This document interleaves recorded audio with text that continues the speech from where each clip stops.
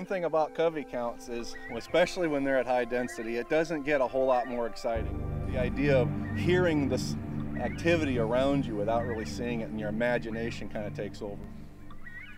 In your field setup, you always want a physical landmark for staff to find, whether it be a flag, a post, a reflector, and or and or a GPS point. You know, so you'll arrive at your point fairly ready. You got something to write with. You got your data sheet. Usually you've got a map, a reference map of the spot you're going to be standing and the general landscape around it. And another thing you'll have is some sort of a table data sheet where you can capture the conditions data, sunrise, date, time, uh, wind, noise, clouds, and then another table that'll capture all of the observations of each covey.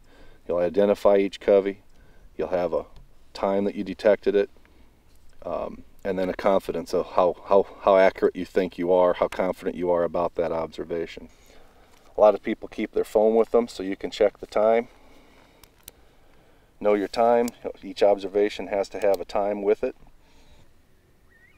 So here we are at 6.55 and birds are already calling and uh, it's all you can do to keep up. And I'm a believer in not worrying about accuracy when things are this busy. I worry about getting it on paper first. I want to capture the event, I want to capture the observation first and worry about accuracy later. And as long as they cooperate and they keep calling, I'm going to listen and take and kind of re-inventory and then I'll check, and during that process, I'll check my accuracy. So as surveys go, covey counts can be one of the most exciting, one of the most fun.